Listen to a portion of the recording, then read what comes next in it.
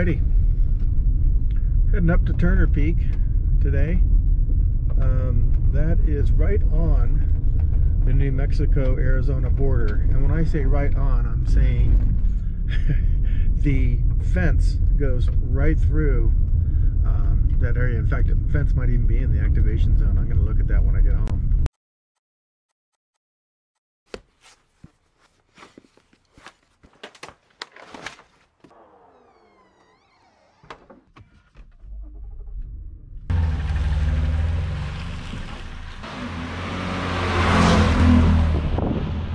CQ, CQ, CQ. This is November 1, Charlie Lima Charlie. Summit's on the air. So the way we get up there uh, today, which is June 28th, is the same road we take to get back to uh, Escudilla Butte. And it's a really pretty drive. Oak, aspen, ponderosa pine, other pine trees. Um, just gorgeous back in here. It has not been touched by fire at all in this area. So um, very pretty. It's on the backside of Escudilla, well backside, backside to me, which is the east side of Escudilla Mountain. So um, should be a good little, pretty little hike. I did it last year. Um, just an absolutely stunning area. Peaceful, nice little meadows in there, and kind of on, on the hike. Um, it, I went two different ways. Of course, the first way I went up was the hard way. Uh, and then after impaling myself on a tree branch, got that patched up, activated, and then uh, hobbled down back to the car and went to the emergency room for some stitches. So let's hope we avoid all of that today. Wife would not be happy at all. But uh, yeah, I'll be extra careful up here. As folks knowing where I'm going. I have multiple modes of communication and the airways are crackling today. Uh, today is uh, the second day of field day, which is where uh, all the ham radio operators try to get outside and operate their radios. And it's kind of a contest format, see how many contacts you can get. But uh, the ultimate is get out there with some kind of something other than commercial power so it could be a generator batteries etc of course uh, to a SOTA operator every day is field day so um, we'll uh, get out here and get on top of the mountain and see how it goes. It was blowing this morning um, over in the alpine area pretty hard. The flags were pretty much straight out. It's blowing around my house I'm just kind of in a protected area so hopefully it's not whipping up there. It's uh, clear skies so far and just a beautiful day. They've gotten a little bit of rain so it's greened up a little bit but uh, the rainy season hasn't started in earnest and that will begin in about one week when the uh, when the monsoons start kicking up and it looks like the conditions are just about right now for a monsoonal flow up from the Gulf. So um, I'm enjoying my time up here. So with that, I'll put you back on the road. Isn't that pretty?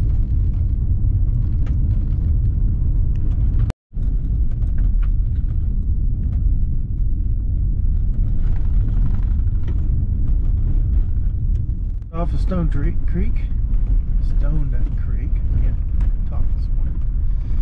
And uh, so this is be a little bit rougher getting in here, and hopefully it's open all the way through. Um, if it's really wet, you don't want to go because it is. There's up to one point where you want to look at the meadow area where you're going to cross because that can get kind of boggy and uh, without four-wheel drive you're maybe getting stuck in there. Looks we got a van up here. A whole bunch of dogs. A little bit of logging activity going on up here. Uh, hence all the markings on the trees. And uh, should be interesting trying to get around this vehicle up here. Now, this is the one little area where If it's wet, you'll want your four-wheel drive, and you don't want to lose any speed going through here because it can get pretty darn boggy. Uh, not going to have that problem today unless I center into one of those ditches. So there you have it. Um, going across a very beautiful meadow here. Um, take a quick look.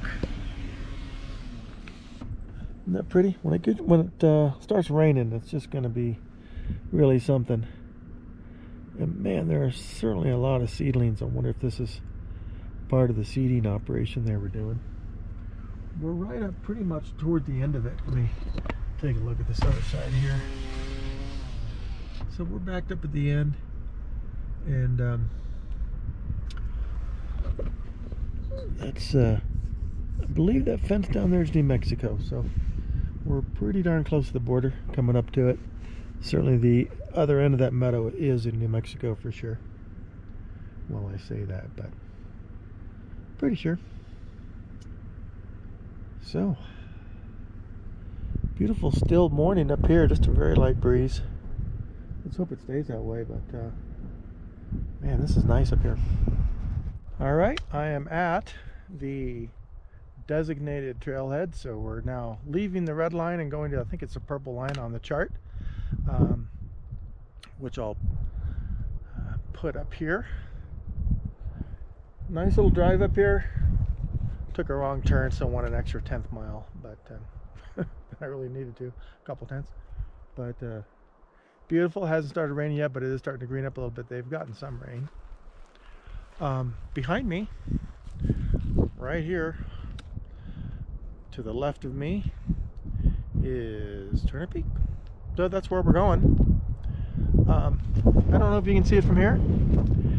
The Arizona New Mexico line is right there where that fence is. And so we're going to pretty much follow that guy up quite a bit. We're going to go through this meadow here and then there's a gate up there um, uh, that I can cross, make it easier to cross through so I don't have to damage anything. But a beautiful morning, light breeze through here. Not sure what it's going to be like on the peak. I don't think it's going to be too bad, but we'll see. Um, don't see any cloud buildups yet, so no moisture in here, uh, but there is some forecast for later in the week. Thunderstorms. Uh, thunderstorms are not your friend when you have a wire in the air. nice and quiet up here. So, let's get cracking.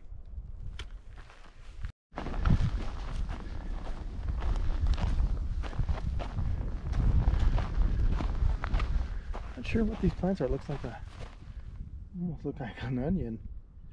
Um,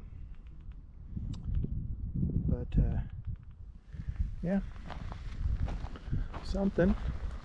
Quite a bit of it up here in little clumps, so I'm trying to avoid those guys.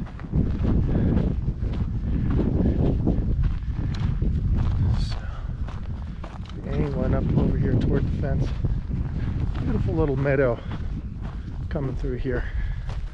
So I'd say this is another one of my favorites. It's not too far from Escudilla Butte. Um, it's on the same road.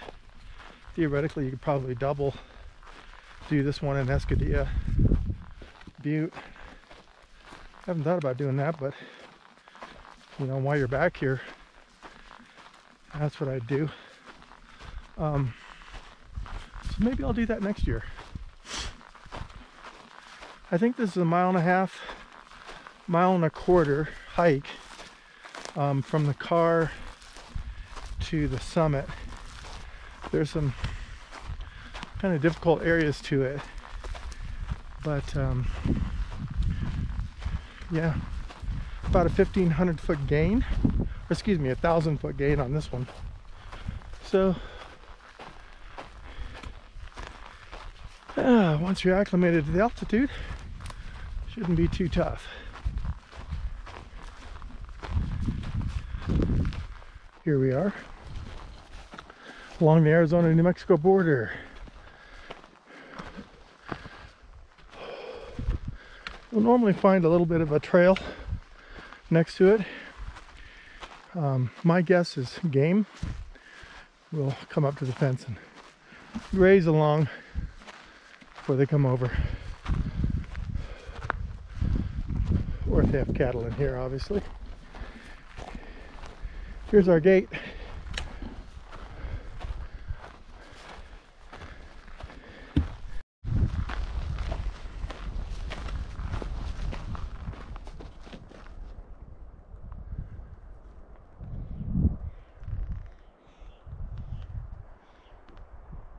Uh, just went to the gate here, still on the Arizona side. We're going to cruise over to the west a little bit and then angle up. What I found last year is certainly if you go straight, it takes you up along a ridge, which is great to a false summit, but um, there's a draw. It's quite a bit more pleasant hike up, so that's what we're going to do you find these things out a lot of times on the way down. And then when you got a hole in your leg, you definitely look for the easiest ways down. And just so you can take it easy. So looks like they've had cattle up in here a little bit. Blue jays are squawking away.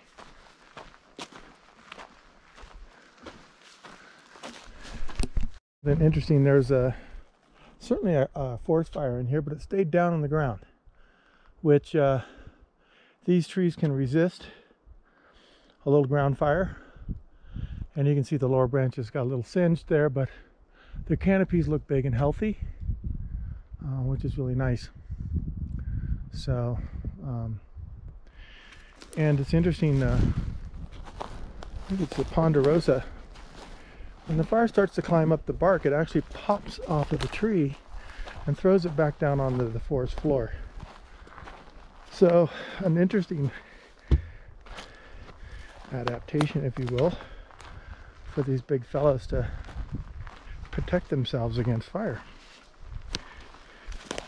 We're following what looks like a little path here, but it uh, goes up through this little draw and around this false summit to our left. There's no reason to climb to the top of that and then go back down. So if you're hiking at full speed, you can probably take that as a direct route. We're currently at 8,750 feet and uh, no cell service, of course pretty remote in here. No APRS. I will have cell service at the top, but I have access to some repeaters. Probably I can get into them from here in Alpine South Mountain. Um, what you hear in the background is some simplex traffic. So, pretty nice little trail um, or trail area to hike in. Um, I normally would print out a map if I have to go a long way in an area where especially I can get lost. but this one's easy. You break your phone, runs out batteries, whatever. Just follow the fence down. Takes you on practically right up to the car.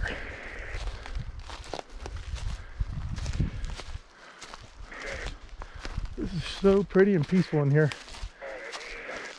we're starting to get into the fallen stuff.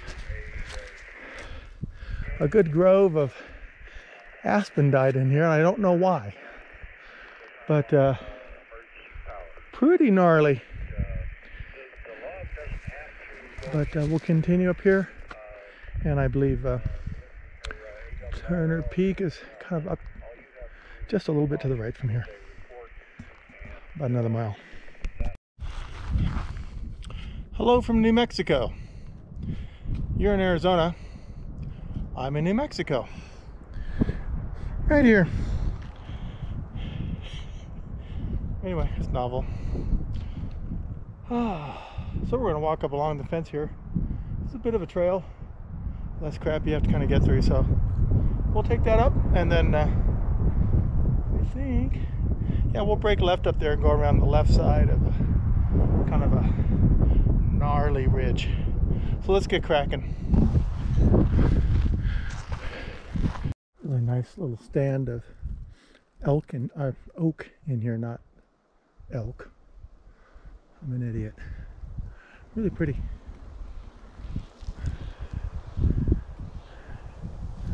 Ah, that keeps me cool. Perfect. Let's get going. The other thing about this route going up is last year when I went up a different way, kind of to the east of here, so much fallen stuff. So this is a lot better. Doesn't mean we're not going to get over a lot of fallen stuff, but it was a real wreck up there. Doesn't mean we won't run into it again, but we're going to angle up this uh, path here and then swing around to the east go up to that ridge um, on the chart. Um, and go ahead and take a look at the blog that's linked to this at, in the description but the chart link will be on there. You'll see that we go up to about 93 or 91 and then we have to go up another 300 feet. So I think I was wrong about the fence being or the uh, activation zone being in both states. Wrong again. But here's the the border. We'll cruise up this some more. This is the point where we um, head straight up and go on the uh, east side of that ridge there. Um, there's a path and uh, it's a lot safer than trying to navigate. It looks like a really rocky ridge but uh, slight breeze nothing heavy duty yet so let's get cracking as we break out on the east ridge here, this is the view. Looks like Luna, the town of Luna right over there. And uh, we're gonna head up just the east side of this guy. And uh, might be able to see the summit over there. So let's get cracking.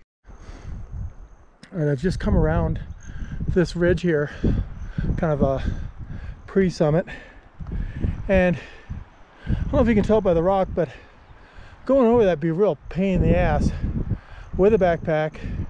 All of it's loose, and um, it just is not the right thing to do, in my opinion. So we're back up to this little saddle here between the two summits. Come up here and stand on that. And then, oh, about 300 320 feet climb and we'll be on Turner Peak and we can start setting up. So this is a, I'd say there's a three foot wide flat spot on this on this ridge, but it's nice and wide. I mean, it's huge, but just kind of cool. This little ridge between mountains. So,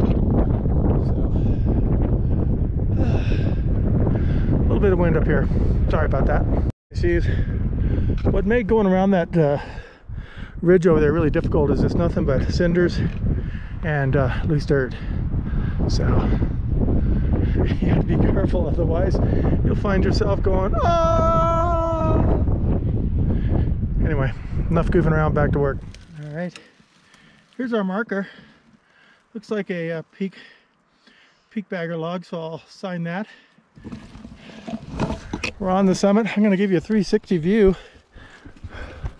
because the summit is a little tiny pointy thing. Get. All right, 360 now.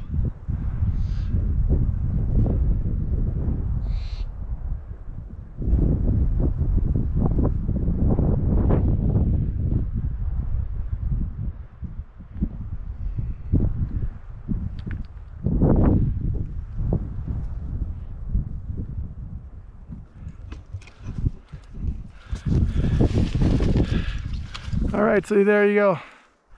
My uh, left foot is on the benchmark. Looks like a brass benchmark, kind of cool. Get a picture of that and post it. So, anyway, let's see if we can set up the antenna without falling on something and uh, get cracking on some contacts. We're a little bit behind uh, my um, original ETA It was 10:30. Looks like it's 11:30. Um, you really have to. It's a navigation nightmare. So you really have to stop and think and pick your way through, if you want to avoid a whole bunch of down stuff. So um, also really picking your way through all the loose dirt and stuff on that uh, one side there, because it's just a really steep thing, and so you just have to you know go slow. It's not. I don't think it's dangerous. It's taking your time. So anyway, it's enough yakking, I think. Let's get cracking. Somebody asked me what my go-to antenna is. It's right here. It's two ounces. It is the K6 ARK spider thread antenna. What's cool, I don't know if you can see it right there, right next to my thumb is the BNC connector and has a 9 to 1 unun um, soldered right in there and epoxied. So makes us uh, gives us a multi-band antenna and um, yeah it just kills it. I mean I've reached Spain um, and uh, New Zealand some other countries even in the shit conditions uh, solar conditions we have now. So anyway I'm gonna get cracking. Um, I'm gonna hold, bring this away and there's Escudilla Mountain. Beautiful little meadow down there that I was talking about. And uh, Escudilla's uh, pretty much a heading of uh, 310.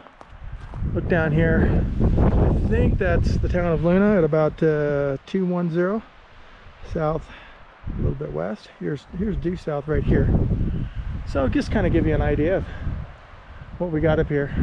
I believe that's South Mountain right over there um, with the tower on it. So I'd have great connection in here and I should have awesome cell reception. So enough yakking, let's get set up.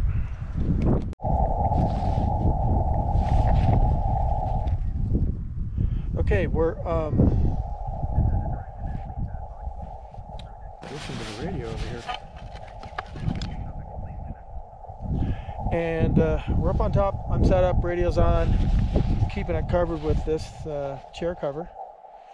Um, kind of down the antenna's right on the summit. The summit has about a three three square foot area. It's a tiny little peak. So we're down here uh, with the antenna up there on the peak, we're to see if we can get some contacts.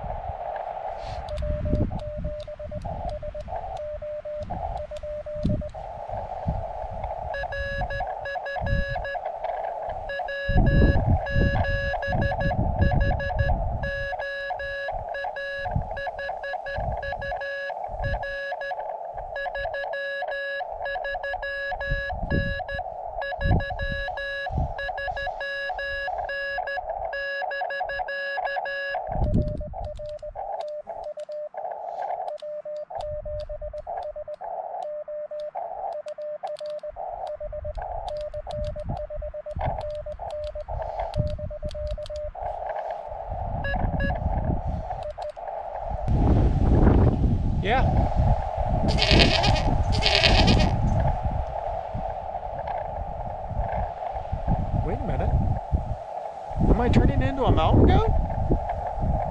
Holy shit. They were right. Once you get to a thousand points, you go to a mountain goat. On the 28th, no less. All right, well, let's get cracking here. Let's go over to 20 and see what we can do. So.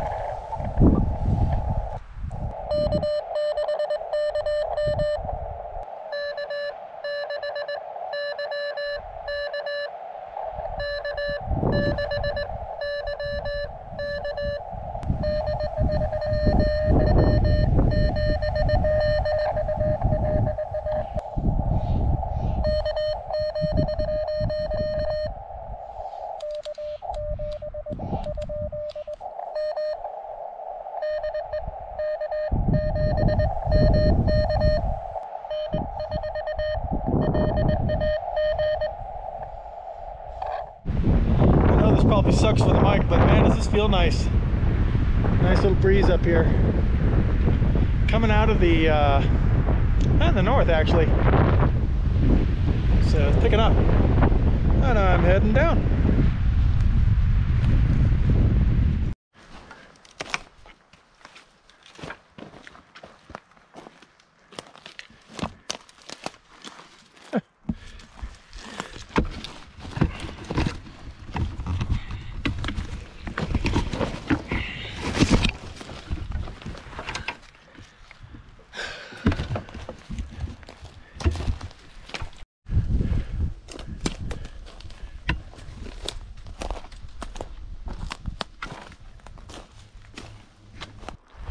The gnarly part, going into my favorite part, which is a little bit more open forest. Easy, oops, easy bushwhack. Because you're just walking through the forest. The only thing I'm doing is just watching where I step. Trying not to step on anything that's trying to grow, especially pine trees. So, here we go down into that little meadow there. So this is uh, real luxury. kind of this side of that one summit. There's just so much fallen stuff. And you have to watch every step.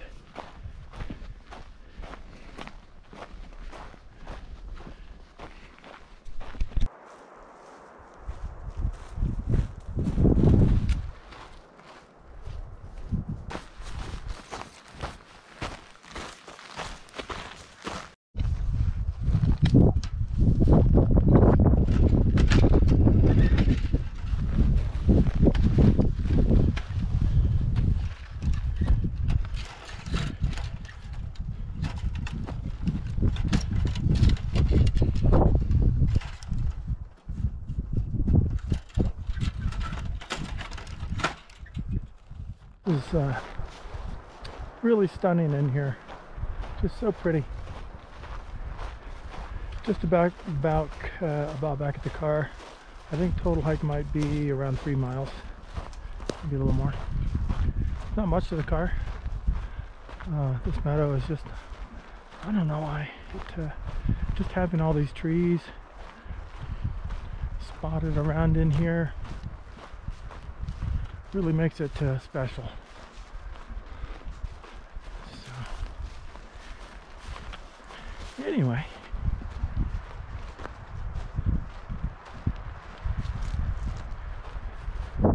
that's uh, pretty much a wrap. I um, I got around 30 contacts.